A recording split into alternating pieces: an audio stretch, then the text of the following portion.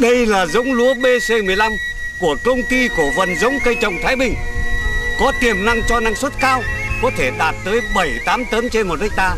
Mà nếu thâm canh tốt, có thể đạt tới 9-10 tấn trên một hecta đấy.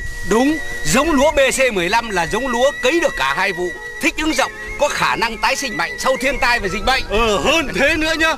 Giống lúa BC15 không những cho năng suất cao mà chất lượng gạo ngon này, ờ, hạt trong nấu một lần ăn hai, ờ, cơm vẫn mềm, dẻo, đậm nhá. Đúng là thỏa nỗi ước mơ của nhà nông. Giống lúa BC15 của công ty cổ phần giống cây trồng Thái Bình được phân phối trên toàn quốc